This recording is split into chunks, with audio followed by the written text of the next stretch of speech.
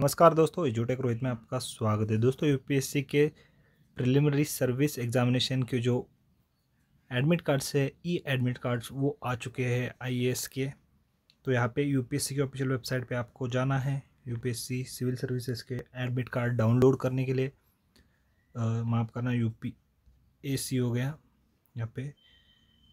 भाई, रुक जा U P S C U P S C search कर लेते हैं यहाँ पे यूपीएससी का ऑफिशियल वेबसाइट जो है, उसको आपको खोल लेना है या फिर यहाँ पे एडमिट कार्ड सेक्शन भी है सीधा यहाँ से भी आप जा सकते हो। यहाँ पे एडमिट कार्ड पे क्लिक कर लेते हैं हम। तो यहाँ पे कुछ दिया नहीं है, लेकिन होम पेज पे जाएँगे, जैसे ही यहाँ पे आप देख सकते हैं, ये एडमिट कार्ड सिविल सर्विसेज़ तो इस पर आपको क्लिक कर लेना है। इस पर आप क्लिक करेंगे सिविल सर्विसेज़ प्रिलिमिनरी एग्जामिनेशन तो यहाँ पे क्लिक हेयर का एक और लिंक दिया गया है, इस पर आपको क्लिक कर लेना है। उसके बाद यहाँ पे आप देख सकते हैं civil services examination twenty three E admit card issue date end date और यहाँ पे डाउनलोड एडमिट कार्ड का ऑप्शन दिया है। तो यहाँ पे क्लिक हेयर पे क्लिक करेंगे।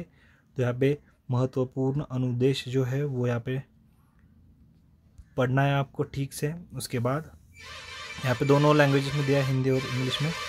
उसके बाद यहाँ पे नीचे आप देखेंगे तो यहाँ पे click here to read scribe instructions और यहाँ पे do you read taken print out of important instructions तो यहाँ पे अगर आपने पढ़ा है और प्रिंट लिया है तो यहाँ पे यस कर लीजिए।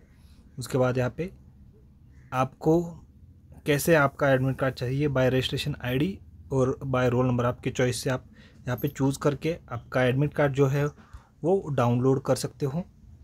यहाँ पे बाय रोल नंबर डालेंगे तो यहाँ पे आपका आपका रोल नंबर डालना है, उसके बाद डेट ऑफ़ बर्थ सेलेक्ट करना है और यहाँ पे जो एक कैप्चा दिया गया है, वो यहाँ पे डालने के बाद सबमिट करके आप अपना एडमिट कार्ड जो है, वो आई का डाउनलोड कर सकते हो।